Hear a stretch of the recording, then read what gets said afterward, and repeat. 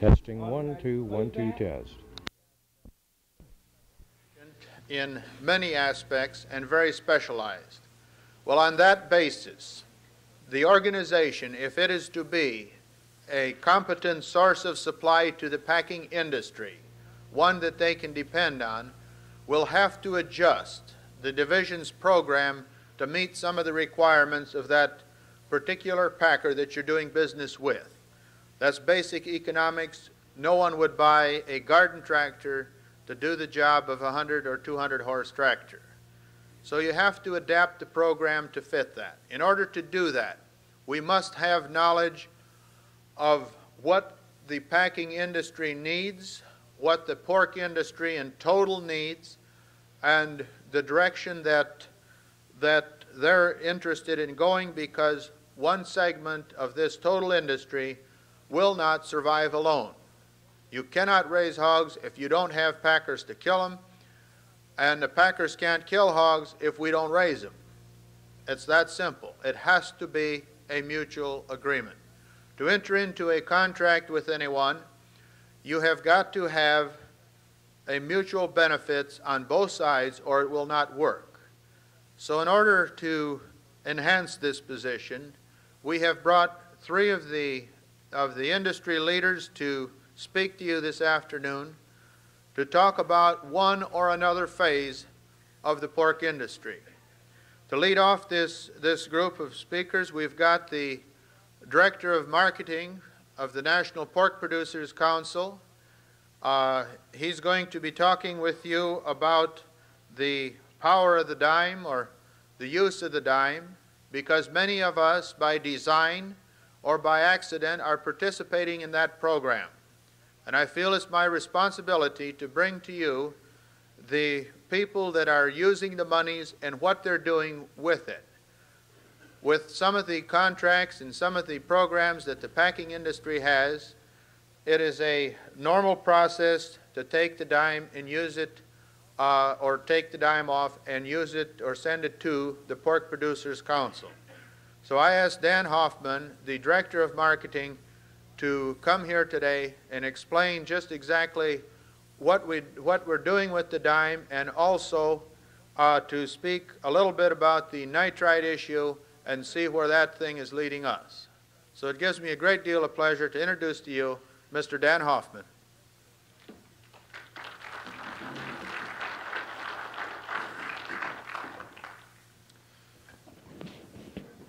Thank you, Alan. It's indeed a pleasure to have the opportunity to be with you today and represent the National Pork Producers Council. We will be talking about some of the promotional uh, activities of the National Council and also touching on the nitrite situation. Usually in a presentation of this type, I try to tell some kind of a humorous story to, to kind of get it kicked off. But uh, recently, accidentally swallowed some sodium nitrite, and that kind of cured the ham in me.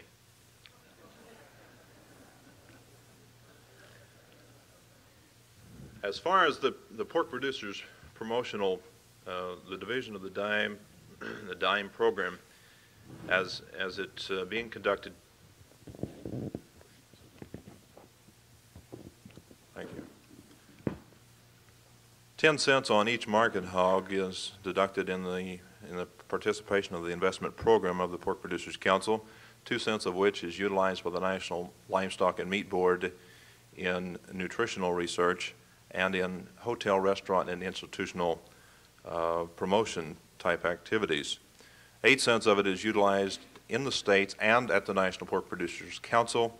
Uh, approximately 80% of the funds that the Pork Producers Council in Des Moines have in their budget is, are used for promotion. To highlight that, we're talking in terms of, of Image City, of year-round advertising in major metropolitan markets. Uh, 14 of those are current.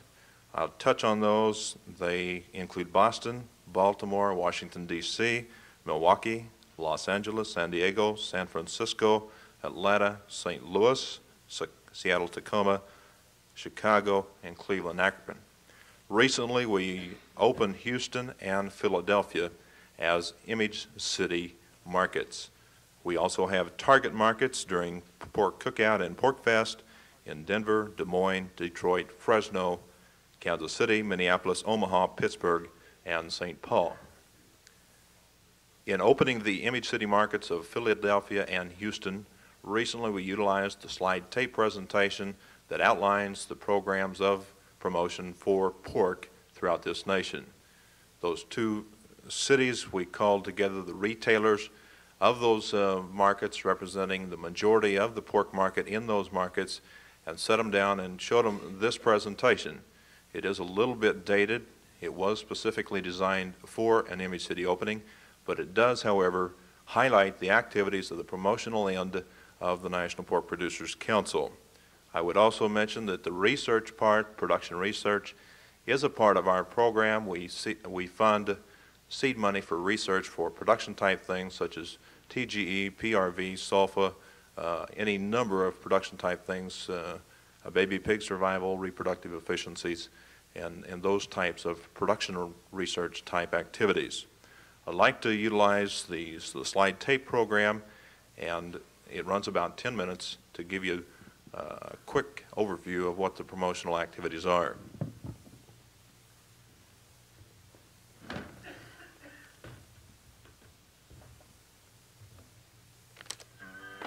You know, the warmth and security of being a child can be remembered in many different ways. Favorite places you played, friends you had, special things mom or dad would do for you, like the smell of pork cooking. It filled the whole house with a friendly aroma that even years later can take you right back to when you were a kid. It was one of the special things your folks did for you. Pork chops cooking or a ham or pork roast in the oven or sizzling bacon and eggs made it easier to leave the important work of playing outdoors or to roll out of a warm bed on a chilly morning. Wouldn't it be great to be a kid again, just for an hour or so?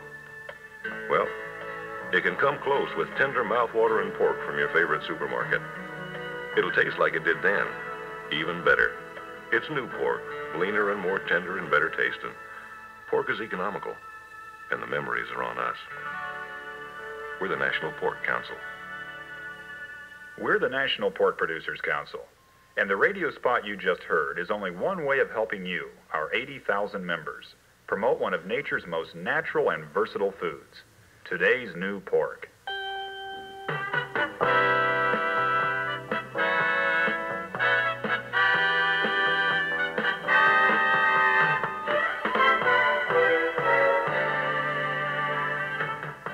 Today's pork is better. It's leaner, more tender, and better tasting. And there's plenty of promotional power behind pork to get that message home. To make sure American consumers know more about today's pork, 80% of the funds voluntarily invested by pork producers is used to advertise and promote the pork you sell. Pork Council advertising and promotion is directed primarily at heavily populated areas. Year-round campaigns are conducted in major markets that account for more than 48% of U.S. food store sales. Heavy emphasis is placed on the selling power of newspaper ads. Pork Council ads feature easy-to-prepare pork recipes, and on many occasions, they offer a free pork recipe cookbook. Newspaper ads are scheduled to run on the same day food stores run their ads. That's the day consumers look for food ads and menu ideas. Of course, our ads help remind consumers to add pork to their shopping list. During the year, hundreds of thousands of cookbook requests are received in the Council's Des Moines offices. Other requests come in too from consumers seeking the latest information on pork selection, preparation, and cookery. For example, the Council recognizes the swing to modern cooking trends such as microwave oven use. As a result, we ran ads and offered a pork recipe cookbook specifically oriented to microwave users. And is it ever popular? It's in its third printing, and we have fulfilled over a quarter of a million requests. It's easy to see that people are hungry for pork facts. The Pork Council also conducts special promotional and educational efforts. The Council ran a special insert in Forecast magazine that goes to home economics teachers. The insert was a fold-out wall poster entitled Hogwash, and it was designed to help dispel myths about pork. Of course, other teachers' aids and special teaching tools are also made available to teachers nationwide. We also offered the Hogwash poster free to readers of 17 magazine, and they responded. The council mailed out over 20,000 copies of the poster. Why promote pork in a magazine that reaches teenagers? because today's teenagers are tomorrow's homemakers, tomorrow's pork purchasers, your customers. 17 Magazine provided a variety of additional pork materials for a classroom educational use as well. Pork's easy easy easy eating. Pork time. Last spring, a brochure explaining the Pork Council's big summer cookout promotion landed on the desks of packers and retailers from coast to coast. The brochure offered free in-store pork promotional materials plus other pork merchandising aids. This promotion kit included two free full-color posters promoting pork and its natural variety. It also included 10 meat case strips with five featured cuts, plus five blank meat case strips where retailers could write in specific pork cookout specials. The Pork Council also offered theme art and special pork cuts for use in newspaper ads. In June, July, and August, the promotion was really sizzling as a series of six newspaper ads appeared urging consumers to put pork on the grill. The ads ran in more than 75 newspapers, and full-color pork cookout ads showed up in the summer issues of leading consumer magazines. Attention-getting radio and TV messages fanned the promotional flames and sales really got cooking at store level as consumers took notice of the in-store materials. More than 94 million consumers were exposed to the newspaper and magazine advertising. In addition, 300 newspapers picked up a news release prepared by the Pork Council. It promoted outdoor pork cookery plus a free 32-page cookbook. More than 50,000 readers requested that book. People did put pork to the coals, pushing summer pork sales to new highs.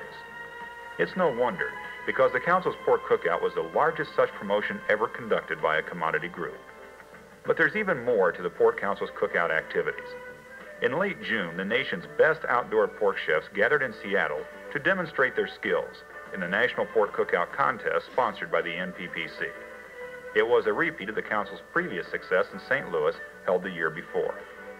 By bringing the contest to major metropolitan areas like those of St. Louis and Seattle, more consumers have been exposed to easy yet creative pork cookery on the grill. Nearly 15,000 Seattleites turned out for the event. The contest received widespread newspaper, radio, and TV coverage, too. And when the last grill had cooled, Wayne Jorgensen of Arkansas was named Pork Cookout Champ. The winner received a two-week all-expense-paid trip to sunny Hawaii. To be eligible for the contest, the contestants must have been selected by a state pork producer organization as that state's pork cookout champion. Seattle consumers learned of the contest through ads placed in area newspapers, on radio, and TV. They even saw posters promoting the contest in Seattle and area stores.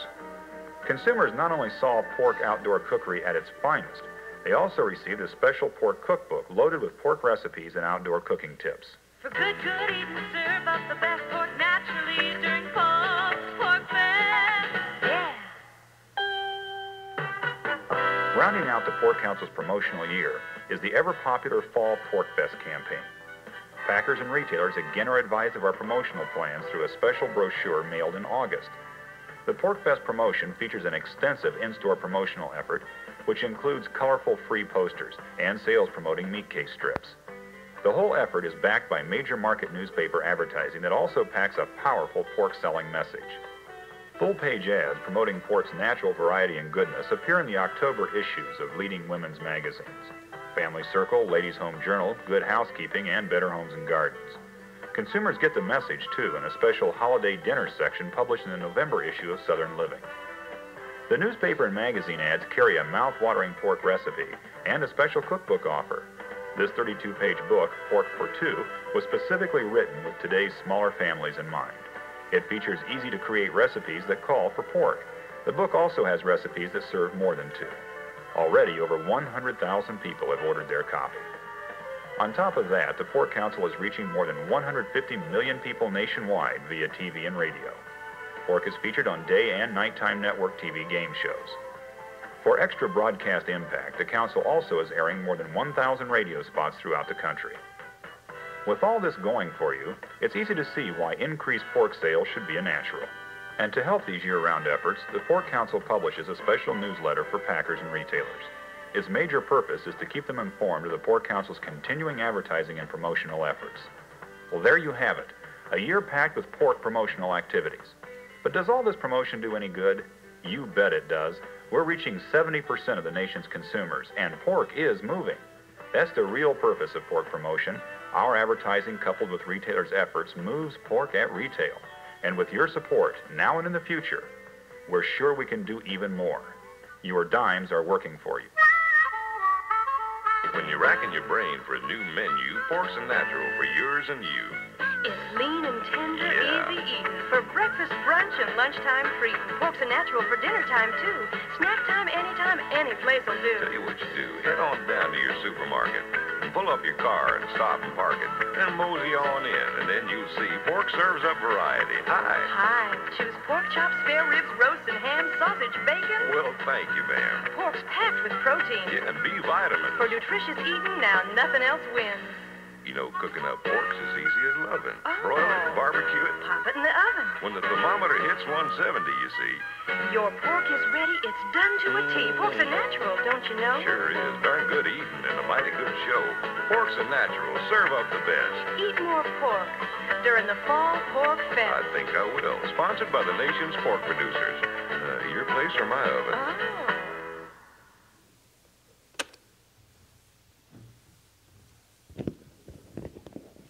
Gives you a, a brief, uh, brief but com- comprehensive overview of the promotional activities of the National Pork Producers Council on behalf of uh, the pork producers of this nation that are contributing and are investing in the programs. I'd like to touch on a little bit of uh, the nitrite, the nitrite issue, where we are, where we've been, what does nitrite do, and some of this is repetitive from what you've been reading and hearing. I'd like to touch on it just briefly, that nitrite does prevent botulism. It does give meats, their cured meats, their special flavor and appearance, and it does retard oxidation. It's been used for thousands of years, but why the controversy? Basically, the controversy surrounding the use of uh, nitrites centered upon the issue of nitrosamines. That was in the first part of last year, first part of this year. Since mid-August, the issue has expanded with the question of the carcinogenicity of nitrite itself. Nitrite can combine with secondary amines to form compounds called nitrosamines. And when fed in large quantities, nitrosamines can cause uh, certain types of cancer in laboratory animals. In a joint release the 11th of August, a joint release from the USDA and FDA, Food, Food and Drug Administration, they announced the findings of Dr. Paul Newberne of the Massachusetts Institute of Technology, MIT study, which indicate a possibility that nitrite caused a lymphoma in laboratory rats. Although the USDA and the FDA uh, made no recommendation for action with that announcement, subsequent statements from government officials, government sources, gave concern that some type of ban was being anticipated. Based on the work by Drs. Tannenbaum and Young of MIT, the Council for Agricultural Science and Technology, we term that CAST, reported in August of 78 that only about 2% of the exposure of humans to nitrite was due to cured meats. Therefore, only a small reduction in the risk, if any, might exist, could be expected by removing nitrites from cured meats. At the September 13th hearing, this past September, a hearing of the Senate Subcommittee on Agriculture Research and General Legislation, a highly critical audit by the Food, uh, Food and Drug Administration of Dr. Newberne's laboratory and of procedures followed during the study of nitrites was introduced into the record. The audit report would appear to substantially invalidate the Newburn study. In the following weeks, peer review raised additional questions about using the Newberne study as a basis for banning or phasing out the use of nitrite. For instance, CAST, an association of 25 food and agricultural science societies, on the 4th of October reported finding the study flawed by deficiencies in statistical analysis and by inadequate reporting of experimental details. In substance, the CAST review of the Newberne study and the FDA USDA position on nitrite came to the conclusion that no regulatory action was justified. If we can go back and touch on the nitrosamine thing just a little bit, in May of 1978, USDA announced a final regulation to become effective in June requiring bacon to be made using 120 parts per million of sodium nitrite or the equivalent amount of potassium nitrite plus 550 parts per million of sodium ascorbate or sodium erythro- erythorbate. Under the regulation, cooked bacon may not contain nitrosamines. The lowest level at which nitrosamines are confirmable under commercial laboratory capability currently is 10 parts per billion. At the same time, a proposed regulation that will lower to 40 parts per million the level of sodium nitrite allowed to be used in curing bacon was also announced. The sodium nitrite or an equivalent amount of potassium nitrate would be used in combination with 0.26% by weight of potassium sorbate. The proposed rule would become effective within one year unless data are provided to demonstrate that these reduced levels would not prevent the formation of confirmable levels of nitrosamines and would not prevent botulinal hazards. Recently, FDA has indicated that within the FDA, a peer group study of the Newberne MIT research is being conducted, and they also announced that a peer group study within the industry, the scientific community, also doing a peer group review of that MIT study on the nitrite part of this, this issue. They indicate that within four to six months, the, the two reviews will probably be concluded, and that if the conclusion, if either or both conclude that additional research is needed, the FDA has alluded to the possibility of funding additional research in nitrites. Also, one, one other part of this is the Delaney Amendment and the possibility that this may be due a review, particularly with uh, Congressman Delaney's uh, retirement in, on the horizon, so to speak, in the near future. As I mentioned this morning, this is a, a risk versus risk kind of situation, and that there may or may not be a risk on the nitrite side in the, the fact that it may or may not cause cancer. But on the other hand, if you take nitrites out of the cured meat products that we have in this country, the risk of botulism and of death does offset somewhat the use of nitrites and any possible carcinogenic activity that may be attributed to the nitrites.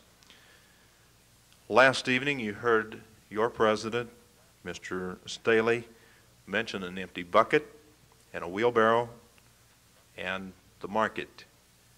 And as we go on behalf of the National Pork Producers Council to the market, to the consumer with our education, our, our uh, promotional activities, we need the same kind of activity that he, Mr. Staley was talking about in having enough in the wheelbarrow to be effective. We're talking in terms of 15 of the top 21 metropolitan markets in the country at this time. We would like to pick up those additional six markets. We are, are uh, we do have participation on the majority of the hogs in the country at this time, but we do need additional support, particularly in the country buying stations and also uh, in some of the southeastern areas where our organization is relatively young. We appreciate your support of our programs. As I indicated this morning also, Alan and I have talked about the demand side, the supply side. We are very compatible. We are working on the demand side at retail, and your folks are working particularly hard in the supply side in the live marketing of the animal. So with that, uh, again, I appreciate the opportunity to be with you, to be able to share with you our programs in your behalf in, the, in this, uh, this effort to continue to keep pork profitable and keep it going to the consumer. Thank you.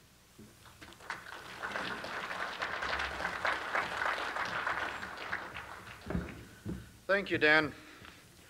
You know, I heard some good and some bad news about this nitrite thing.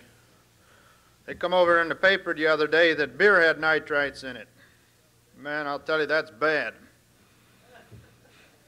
You know what's good? They ain't going to ban it.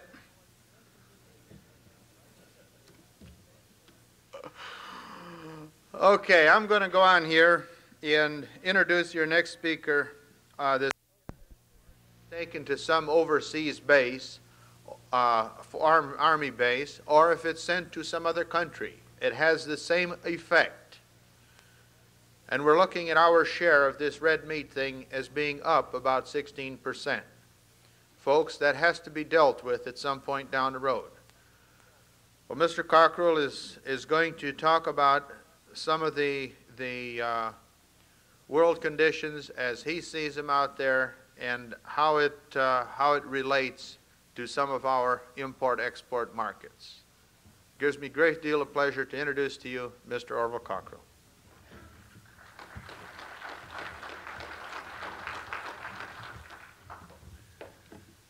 Thank you very much, Alan, and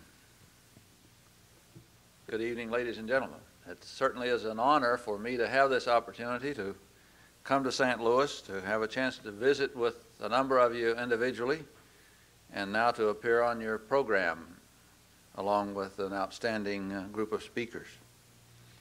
I know that some of you are going to be wondering how a Kentucky hillbilly ever got in an exalted spot like this. And I can't say that I blame you any. I'm a little curious about it myself. I know I don't make any pretense of being a speaker. Matter of fact, I don't know of anything I do a worse job of than try to make a talk unless it be listen to somebody else make a speech. I know I used to have a school teacher back in Caneyville, which is my hometown. Used to tell me I was the only fellow she'd ever seen who could louse up a perfectly good speech just by the stupid way I listened to it. I think I've ruined quite a few in my time like that. Of course, I always thought the reason I never learned to get up in front of a group and, and try to talk was the fact that I never had a chance to practice. Uh, when I was growing up back in Caneyville, we didn't have any uh, NFO or organizations, much of any kind. Uh, in fact, we were still pretty disorganized back there. But the mathematics of the thing always seemed to be against us. You know, anytime we had enough people together to organize something, we always seemed to have enough to start a fight. And I guess if you gave them a choice, even now, about whether they organize something or started to fight, there's not much doubt about which one they take. I know one time we were going to organize a, well, this was a local chapter of the Revenuers Destructive League. Now, everybody thought, now here's an organization that'll really go, you know, everybody's in favor of the principles of the thing. And we planned a big charter night program, uh, imported a speaker all the way from Tennessee, you know, really going to do the thing up right. Well, I didn't get to be there the night it was coming off. Uh, I had to be out of town on business. The sheriff we had at the time was a pretty obnoxious cuss. But when I got back about 30 days later, I said to my Uncle Ambrose, I said, How'd you come out over the charter night program? And he said, You know, we never did get that thing organized. And I said, You didn't. And he said, No, everything was going fine, and the only thing we had left to do was elect officers. But he said, Dude Beatty and Carlos Hussey's both running for president. And Carlos was up making a little campaign speech, and he got to slinging a little mud. You know how politics goes sometimes. And he accused Dude of shooting the revenuer and letting him drag off without finishing him, you know. And and Dude just wasn't going to have his reputation besmirched like that. So he called Carlos a liar. Well, now back in Kentucky, we take a dim view of somebody calling you a liar, even if it's the truth. So he went over and he knocked Dude down. Well, dude was lying there on the ground wondering what to do next, and he happened to find this ball peen hammer in his hip pocket. And he took that out and he, and he rapped Carlos over the head with it a few times. Well, Carlos sort of lost interest in the argument. Uh, matter of fact, the whole election.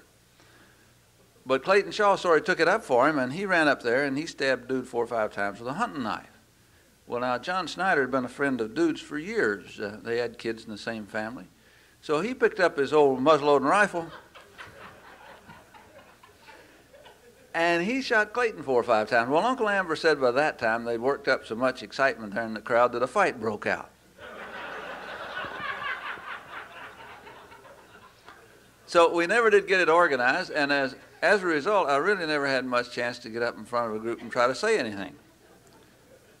The only time I remember trying to talk in front of a group anywhere near this large until this morning was once when the circuit judge got me to turn state's evidence. As I recall, on that occasion, I got things so fouled up, the prosecuting attorney wound up getting two years. and I don't want I don't want anything like that to happen today, but I don't want to make too many promises either because I didn't know until a relatively short time ago that I was going to have this honor of being here. And, and since that time, it seems like I've just been having to chase here and there. Uh, and I've had almost no time to think about what I might talk about. Now, I hope you won't feel too badly toward me about that because I don't think I could make a good speech if, if Alan had notified me last summer. In that respect, I'm a little bit like my Uncle Woody uh, back home. Now, Uncle Woody is in the manufacturing business back there. And he's one of these modern businessmen, you know, that believe in quality control and product testing and all that sort of thing. And one day he was back there in the woods running off or doing some manufacturing. And, and he, he kept testing to see that the product was measuring up to these high standards that he had set. And he spent the whole day manufacturing and testing and testing and manufacturing. Long toward night, he's pretty well caught up with his manufacturing, but he's still off behind with his testing. So he took a, a quart of homework in each coat pocket and he, he started down the path there toward the house. And oh, he hadn't gone more than 50 feet, I guess, until he saw these two rattlesnakes in the path right in front of him. Well, now, Uncle Woody knew from experience there's only one snake there. But even one snake can be a pretty tough customer if you're not prepared for it. But you'd be surprised at how much courage some of these Kentucky products will give you. And Uncle Woody was pretty well fortified. So he, he took a firm grip in each coat pocket and he charged right into that snake and said, Go ahead and strike, darn you. I'm just as well prepared as if I'd had two weeks' notice. I was getting ready to come over here yesterday, I guess it was yesterday now that I came over here, and as I was getting ready to leave the house, my wife said to me, What are you going to talk about? You know, I've discovered you can ruin a fellow's whole trip just with one question like that. and I said, Well, I don't know. Uh, of course, matter of fact, I'm not too sure yet. Uh, I said I might be a little bit like Uncle Alfred was back home. They asked him to say a few words. Uh, one time they were having a, a big funeral for Sheriff Culpe- Culpepper. He was the obnoxious sheriff I mentioned a while ago. Folks decided it was time for a change. And they, they asked Uncle Alfred if he'd like to say a few words. They, I think they thought he more or less deserved the honor since he was somewhat responsible for the occasion. But, but Uncle Alfred wasn't nearly as good at conducting a funeral as he was at making one necessary. But he was an awful kind-hearted fellow, and he didn't want to hurt anybody's feelings, and so he got up on this stump and he'd get his mouth open, you know, bop, bop, but, but nothing would come out. And finally, sort of in desperation, why he, he jumped down off the stump and picked up his old rifle and said, well, I'll bring him in, you put him away. Well, that wasn't encouraging my wife much. Of course, she, she remembered what a, what a mess my younger brother made one time. My younger brother Clem, some of you may know him. He publishes a Kentucky Farmer now, but a few years ago we were having a, a meeting of ministers and deacons in our local church there at home, and, and Clem got a chance to preside. Now, we never did know how that happened, but you know, politics is a funny thing, but he was having a little trouble getting the uh, the uh, meeting started and the horse trading stopped, and and uh, so he got kind of angry and he slammed something down on the table and he said, "Come to order." Well, now Uncle Elmer always attended every time the door was open, and he was there that night, but he had sort of dozed off. He didn't have any horses to trade at the time. And when he heard Clem say order, well, he, he, he kind of come to with a start and he said, well, make mine a beer. Well, you can see how the folks felt about that. They ostracized Uncle Elmer there in the community for a good long while. They just wouldn't believe that a Kentuckian would drink anything but moonshine. Well, anyway, I, uh, I, I guess my problem was that I always thought that I wouldn't mind getting up and trying to talk if I didn't have to talk about something, you know. But uh, you give a fellow a subject, and it seems like it sort of, sort of boxes him in, you know, so he doesn't have too much to uh, too much leeway. But eventually, I'm going to have to talk about something. I know that, and uh, and my wife knew that too. And she she she was still worried about this thing. And she said, "Well, why don't you talk about all the marks of a successful publisher?" Now she's sort of been hepped on this success stuff ever since we left Kentucky and came to Northern Illinois. I don't know why. The folks back home certainly don't think we've done too well. It was just at Thanksgiving we were down there and I was talking to my Uncle Harrison about living in Illinois, and I guess I was laying it on a little bit thick. You know, I want him to think we'd done well. And so in the, in the course of my conversation, I said to him, why, it cost me $3,000 a year just to live. Well, now Uncle Harrison was fixing to have some liquid refreshment, and he had this jug up here on his arm, and he just pulled the cork out with his teeth. And when I mentioned this figure of $3,000, he got excited he swallowed the cork. Now, it had been so long since anything solid had gone down Uncle Harrison's throat that this just about did him in, and he's down on the ground, you know, trying to uh, flopping around, and I grabbed the jug and washed the cork down, and well, he sort of began to come to, and he said, "Did you say it costs you three thousand dollars a year to live?" And I didn't know whether to repeat it or not after that performance, but I said, "Yeah, that's that's what I said. It cost me three thousand dollars a year just to live." And he pulled himself up about as high as he could under the circumstances, you know, and he pointed his finger right at my belt buckle, and he said, "Well, take my advice, son. Don't pay it. It ain't worth it." Well, you could get into some big arguments about that, I guess. And so, anyway, I'm uh, I'm going to move right along with whatever it is I'm going to talk about. If, if there's anything that burns me up, it's the fellow so slow he can't get anything done. Now, my my uncle Willie used to just burn me up that way. It seemed to me that he was the slowest fellow. One time, I remember he and Aunt Nancy came to visit us, and didn't seem like they'd more than got there until he was out working on the buggy so they could go home. But that fellow was so slow, and it took him so long to get anything done, that by the time he got the buggy fixed, there's so many kids in the family it wouldn't hold him. And I, and I sure wouldn't want anything like that to happen here today. So I want to move right along. And I can move pretty fast when I have to. Uh, in that respect, I'm a little bit like a mule that Uncle Whitey Napier had. Now, I may be like a mule in more respects than one, but I'm only going to mention one. But Uncle Whitey had this old mule, and he'd had him for a number of years, and the old mule had gotten pretty cantankerous, but, but Uncle Whitey had gotten sort of attached to him. You know how a thing like that goes. And one day he was on his way to, to Killtime to the mill. Now, Killtime, any of you who happen to be from Kentucky, you know, is right down below Caneyville. And he had that old mule hitched to a wagon, uh, had a pretty good load of corn. Well, not too much. It's pretty hard to have too much of anything in Kentucky, and especially corn. But he had 15 or 20 gallons, and he had and he had a turn he was going to have ground too. And he got right at the top of the hill there by Sarmash Jackson's, and that old mule balked, and he wouldn't go another step. Well, now uh, Uncle Whitey was about as cantankerous as a mule. In fact, some of us thought maybe it's a little worse. And he got out and he discussed the horrible state of affairs of that mule at some length.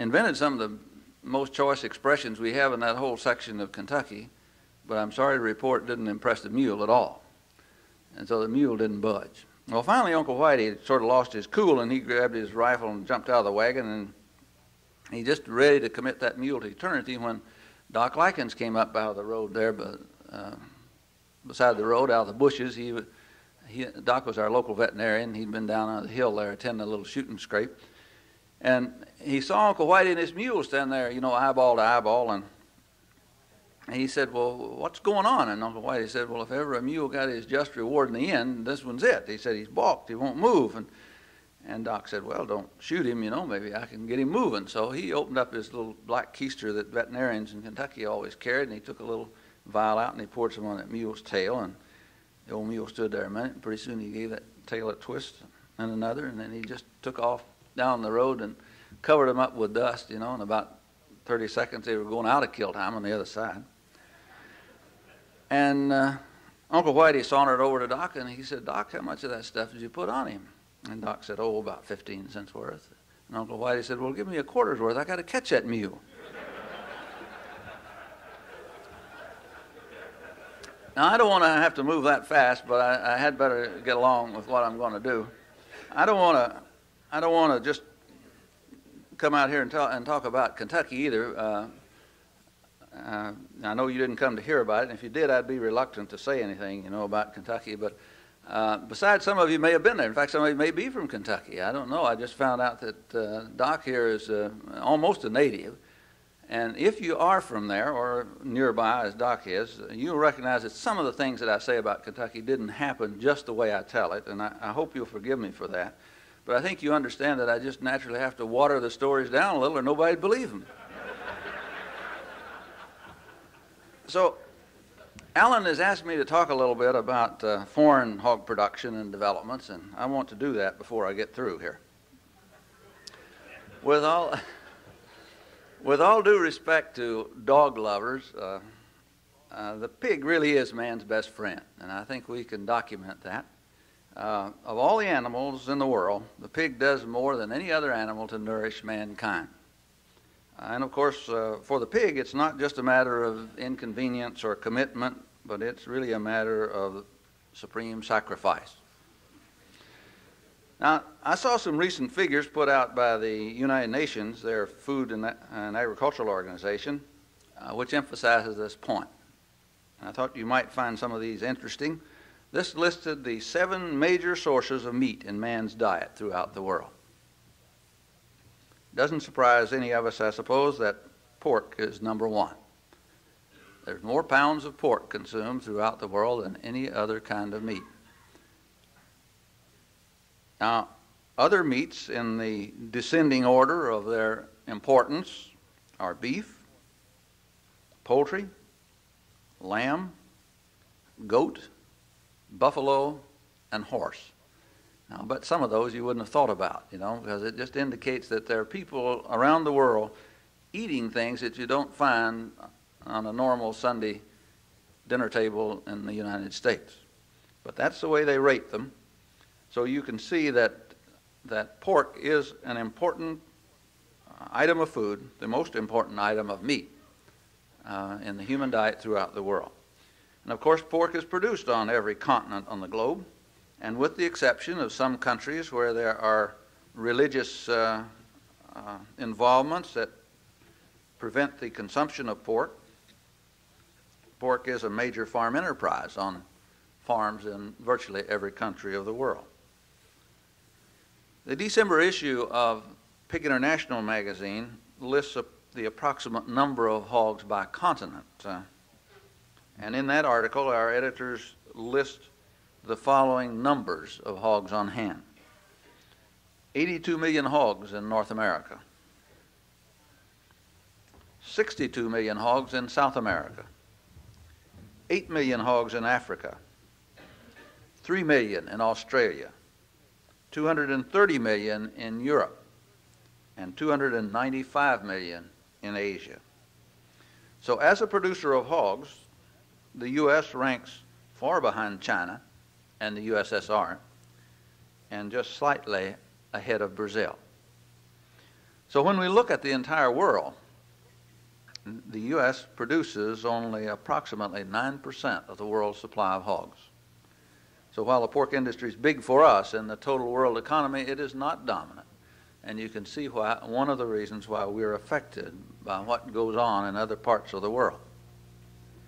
It was this observation on not only the size of the hog industry around the world, but also of the scientific developments of the pork industry in other parts of the world, which led Watt Publishing Company to establish Pig American magazine a few years ago. And Alan has been kind enough to say that I could tell you that if you are not receiving Pig American magazine and would like to do so at no cost, if you would leave your name and address at the Hog Division booth out here, we'll be happy to put you on the list. Pig American is circulated to people who are in the hog business in the United States without charge. Our objective then, as now, is to seek information on the technological developments within the pork industry throughout the world and to report them in the most practical way possible to American hog producers. To accomplish this, we have established offices in many parts of the world, and we have correspondents uh, throughout the world working with us on developing information, which we then try to take and make applicable to the U.S. conditions with our editorial staff in Mount Morris, Illinois. I don't like to say it because it kind of hurts my pride as an American, I guess, but there are a number of areas throughout the world which are ahead of us in some phases of hog production. Now, this is particularly true, I believe, in confinement rearing and management, in some aspects of breeding, and it may even be true in some aspects of feeding. Where this is true, obviously, American hog producers can benefit from knowing how these people do it even though I say that some areas may be ahead of us, I, I want to emphasize that American hog producers have no reason to feel inferior. No other area in the world is better suited to hog production than the United States. And of course, there are many aspects of hog production where we're ahead of whoever else is in second place. And in those areas where we aren't ahead just now, we are making some sizable gains. So don't let me mislead you. No one has a brighter future in the hog business than the American farmer. Please turn the tape over to side number two.